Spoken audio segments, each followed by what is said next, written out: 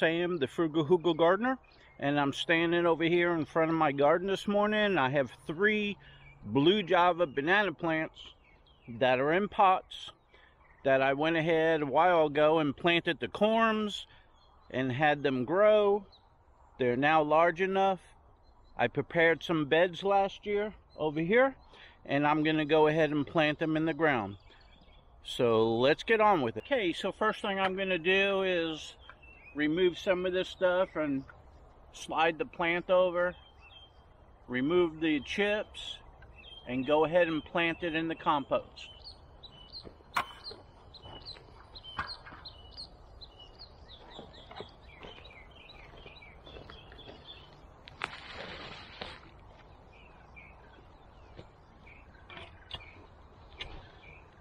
when I when I did this bed over here, I dug six foot wide, three foot down, 18 inches above, added the compost. I marked the location that I wanted the banana plants.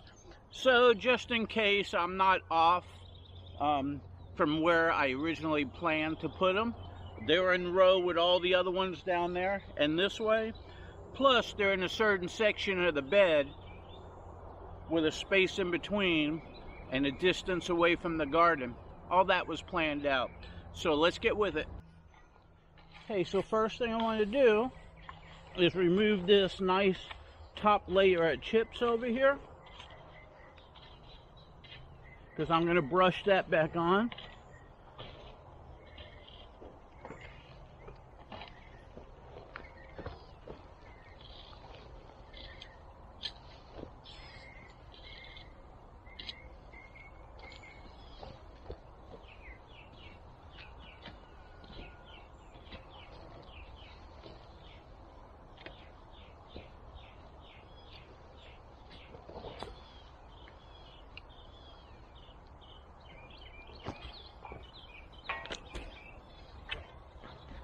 Okay, so, okay, so here's the center.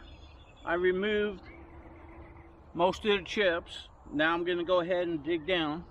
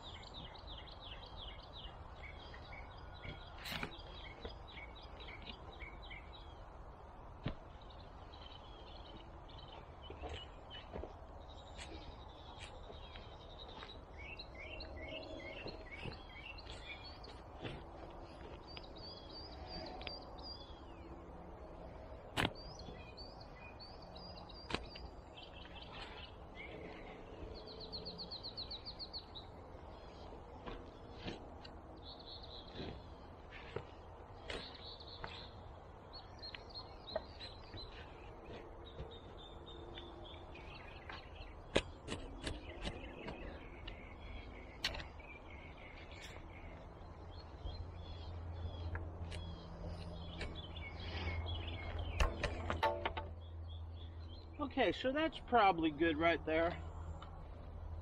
Let's see, it comes up to there. I want it a little higher. It looks good.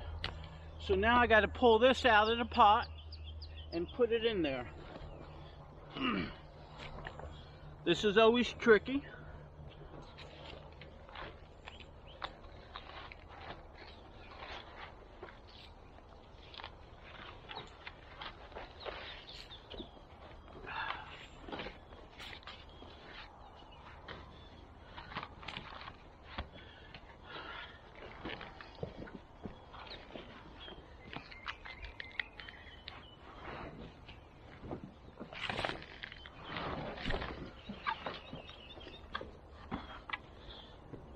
Okay. So I have the blue java out of the pot.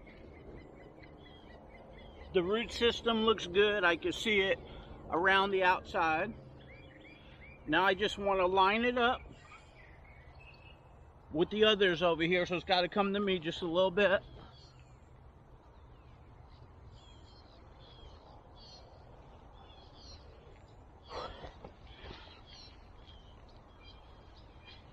Okay.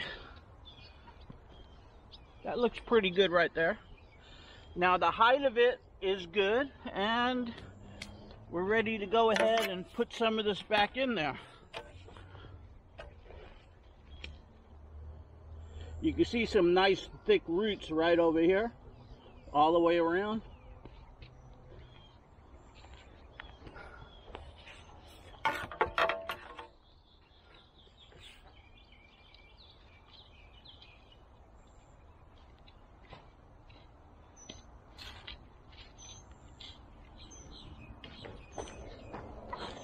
I'm going to pull the soil back over it.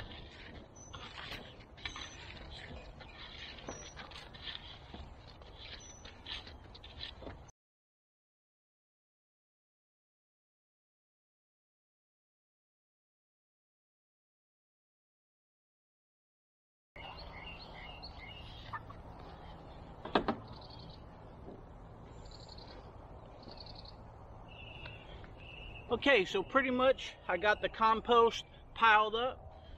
Now I'm going to take some of this chips and put the chips all the way around so when I water it, the pile doesn't go ahead and, and undermine and wash out.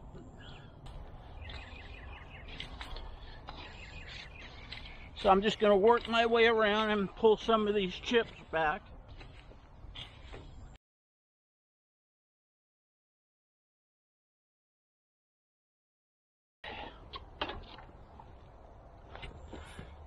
Okay, so I mounded these up so when I water, that doesn't wash out. Plus over here, I'm gonna go get some new chips and put that around so this goes out even further. So this bed here is about a foot off of the ground the way I like it. And all of this is gonna turn into good, rich compost over time. I'll keep adding more up so this bed will even get higher. So, okay, this is my first one planted. Let's go get the other one. Okay, so in front of the other one, let me do the same thing. Remove this, move the pot, remove the chips, dig a hole, fill it back in.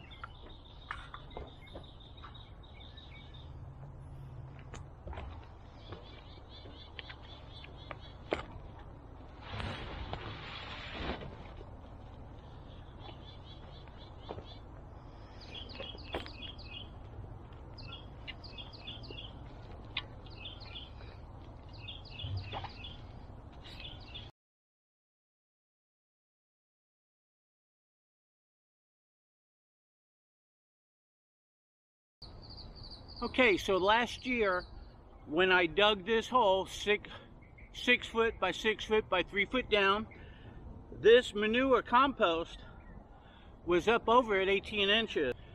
So it compacted down as it composted. And the same thing for the chips. This, these chips here are, are good organic chips. They started out fresh and now they're practically dirt. So it's going to make for a, a, really good bed. Manure down below, chips all the way down on the bottom for the hugelkultur effect, and then chips on top, and I'll keep piling it up because on a banana plant, you can put as many chips as you want going up. So after a while, this will be up again 18 inches. So let me get digging.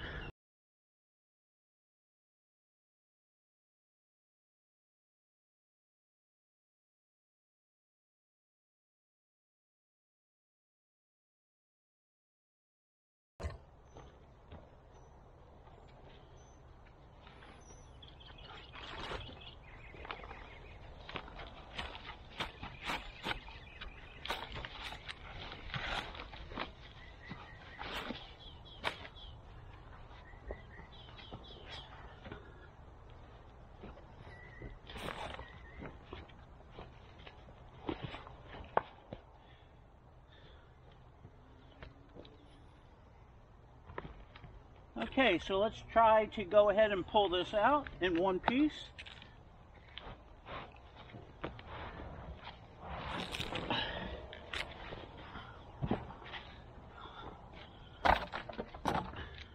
Okay, this all looks good. You can see the root system is all the way down to the bottom.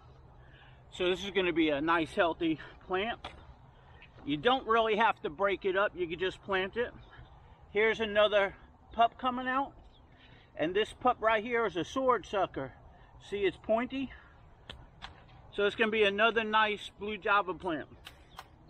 There's some ants down in there because I'm getting bit.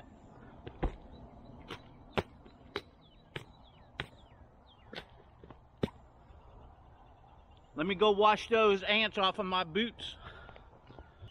There's red ants all around down there. They already bit me here on my hands and my knees. They're moving eggs around right now. Nothing I could do about it. That's why I wear boots. So let me finish.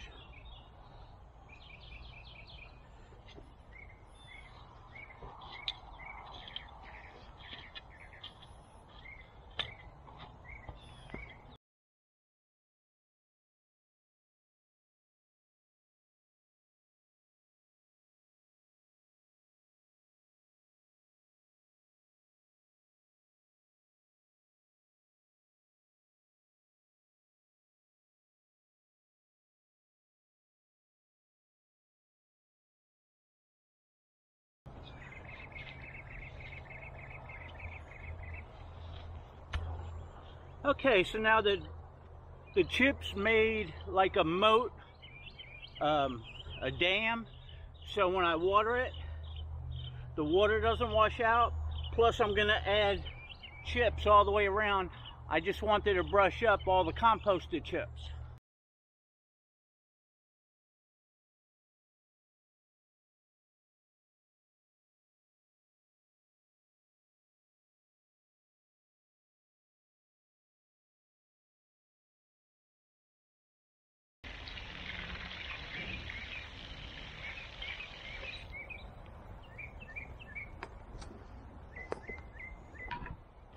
Okay, so there's one down, there's two down, I got one more to go, and I still got to go get chips and put chips all the way around, but right away when I do something, I like to pile up the compost, pile up the composted chips that already is decayed, and then I put newer stuff all the way around it.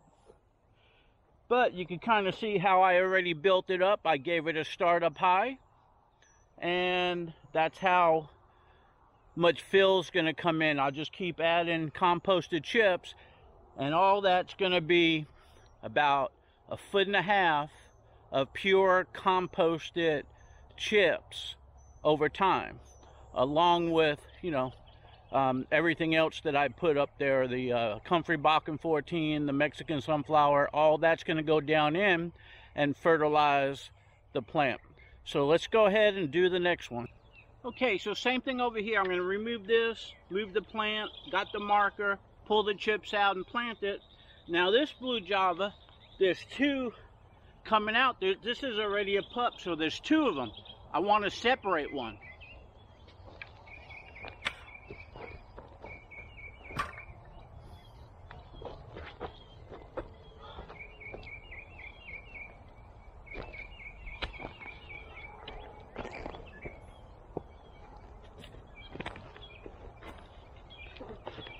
Maybe not. I'll leave it as two because normally I like to have three of them growing anyway. So instead of disturbing it, since it's still a pup, I'll just plant the whole thing. It'll look nice. They'll grow up nice. I'll be happy.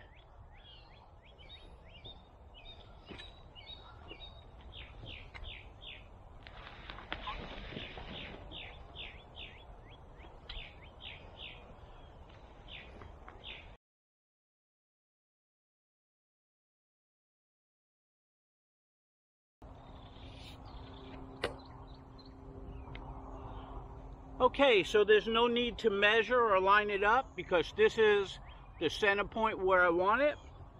So let me go ahead and dig.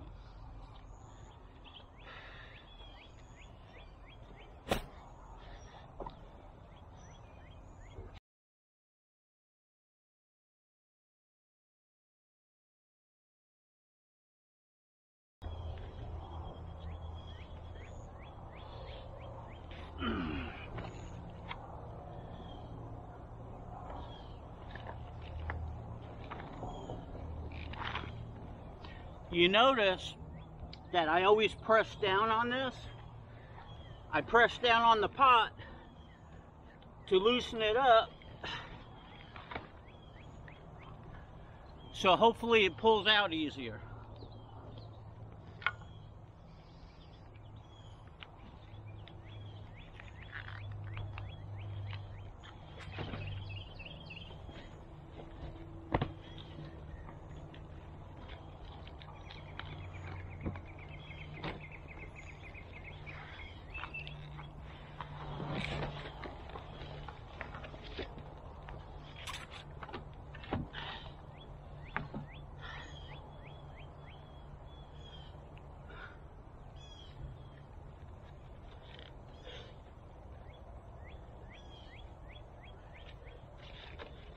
Okay, so this is the parent plant and this is the pup.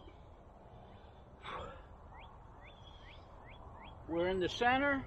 We're lined up this way. We're lined up this way.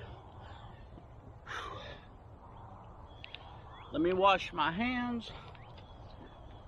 Okay, so let's go ahead and pull that dirt back in. But that looks good right there.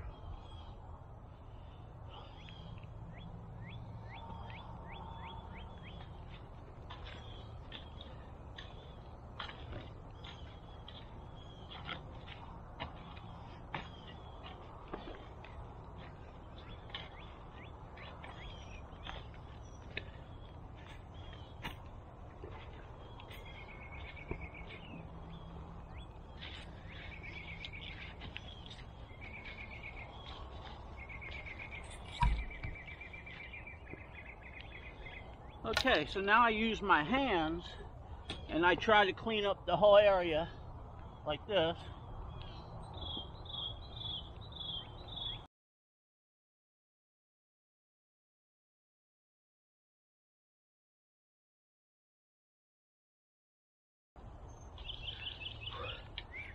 Okay, that looks good. Now I'm going to pull in the chips all the way around before I water.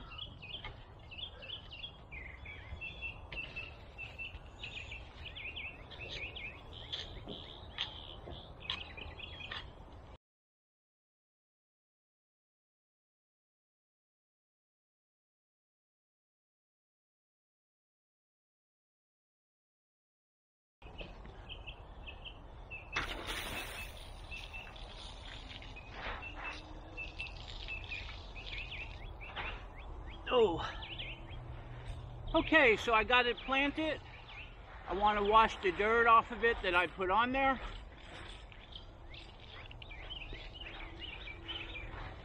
And go ahead and add water, wash it down in. I'm still going to add water to these again, but I'm just doing this temporary. Then I'm going to get more chips and then I'm going to put the hose down in there and get all the air out.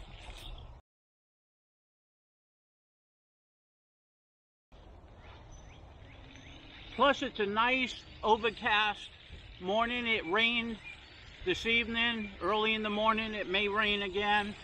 That would be nice, some natural rain. Okay, so the first thing I like doing after I plant the banana plant is I get me some AgroThrive. I love AgroThrive. It's 100% organic. It treats the soil, creates microbes, the micros go up into the root system, into the plant, makes for a nice healthy plant. Get yourself some AgroThrive. So what I do is I just, I got myself a little cottage cheese um, container. You can use anything you want.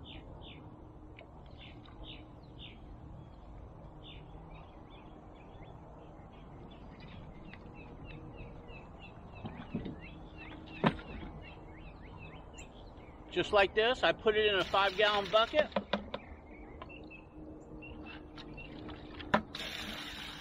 And I fill up the five gallon bucket. This is probably about two cups of AgroThrive in a five gallon bucket. So let me fill this up and I'm gonna pour some in here and on my other plants. I'll use this five gallon bucket on three plants.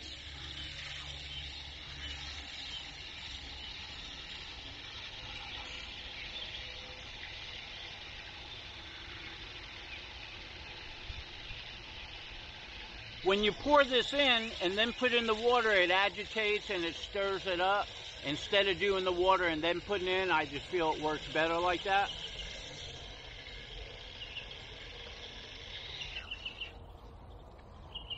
Okay, so now what I do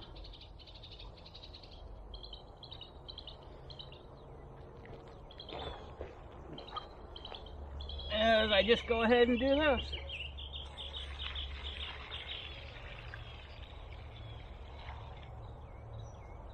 I pour it in like that. Now my banana plant is planted and it's fertilized. I got it, that was about a third of the bucket. I got two more over there to go do. Okay, so anyways, my banana plant is planted. I went ahead and mixed up some fertilizer using AgroThrive in a five gallon bucket. I used about a third of the bucket in here. Now I'm going to use the other two thirds in those other plants. This is a blue java plant, the type with the knuckles. It's the original. I treat it as organic blue java. I'm going to have some available once they start shooting out pups. So if you want some blue java banana plants, contact me. Come to my Facebook page, PM me. Come to my Facebook group, PM me. There's a lot of ways you can get in touch with me. Comment down below.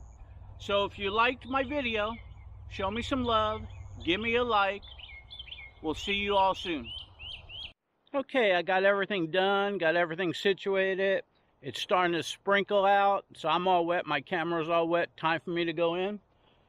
But this is what my blue java banana plant bed looks like that we just planted. Right over here is the other one that we just planted. And right over here is the other one I just planted. I went ahead and gave them the rest of the AgroThrive. And going down this ways, I've got some more blue java banana plants. Let's take a walk. So as you can see, right over here is another blue java.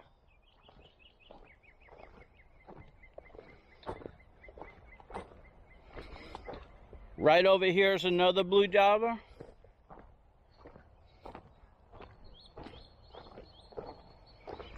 And right over here is another blue java. I put these on here just so I don't accidentally hit them with the tractor. But if you look, I've got all of these in a row going down. So anyway, once they get tall, once they start having pups, that's going to be, let's see, one, two, three, four, five, six, seven, and a plantain down the end. I think that's going to give it a nice look when I go down my walkway to the garden. Plus on the other side, I got banana plants in a row too. So it'll be like a street with big trees on both sides. I can't wait for them to mature this summer. So, okay, hey, this is it. That was my bonus footage. We'll talk to you later.